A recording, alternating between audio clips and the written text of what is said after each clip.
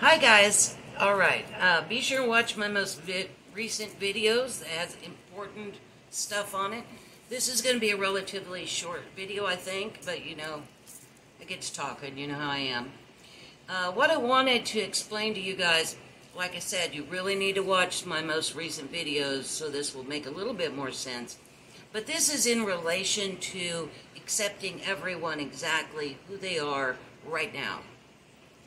What they're going to find out, and this is a bit of information that will go with the last video, as a matter of fact, that this is information that they don't know yet, although they're getting close to it.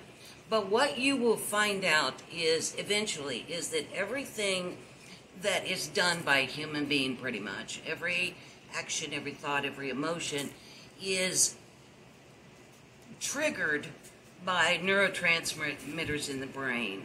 Uh, it's by little fluids that are running around back and forth. And those are triggered by how you feel and your belief systems. So that is how the creationary process goes from how you think and how you feel into how you act.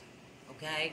Because you can, you feel something and then it, it will trigger all of these things that happen in your brain and that will create activities. This is the difference between somebody who is um, helping the sick versus someone who is um, killing people. Okay? It's a matter of these little things that are shooting off in the head. About every disease, every outcome, every action is run by those little fluids going on in the head. And for a human being, you will say those neurotransmitters are all balanced, everything's good with them, when the person is what you call normal. And they're exhibiting normal behavior, they're acting normally, then for you, that is, these all these neurotransmitters are operating right. Okay? If anyone steps outside those guidelines, then people are going to start looking at them, there's something wrong. And that could be everything from being sick with, say, diabetes to um, beating people up. Um, all of it is based on those messages being sent. That is how it goes from vibration, beliefs, into a creationary process through your human body. Now, the reason I bring that up is if you understand that, take that concept and move it forward.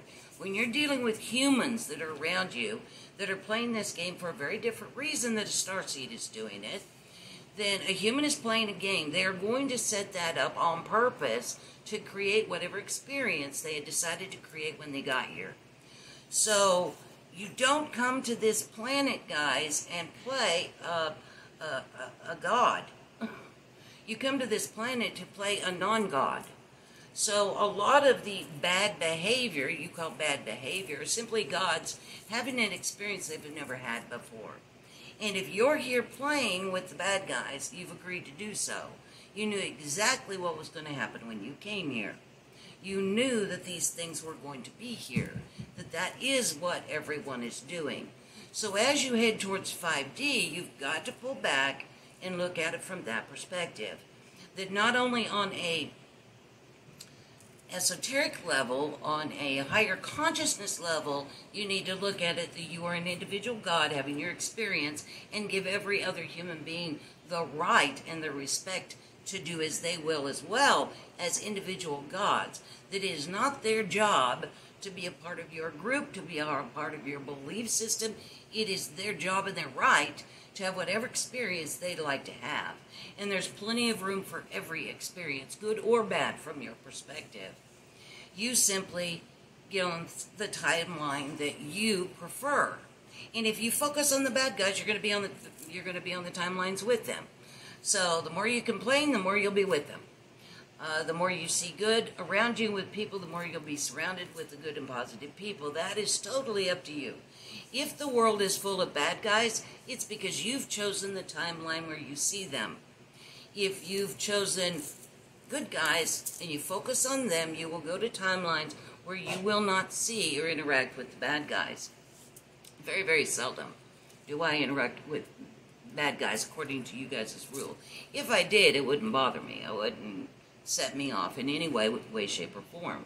Because I am very aware that each individual God, I'm aware of all the timelines that are available, I'm aware of everybody's options, how much is going on here, that a lot of people think, oh, it's just me and this little tiny human body living this one life. It's not.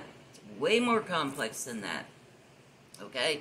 This, if you want to go to 5D and you don't have to, you certainly have every right to stay and fight the good fight and do whatever you'd like to do. But if you are going to 5D, you simply, this information should make it easier interacting with people as you're getting onto timelines that are more higher vibration. Because you can look at an event or a person or an interaction and simply say, oh, that has to do with these things going off based on something that has been brought into them, whether it was pre-set up or not.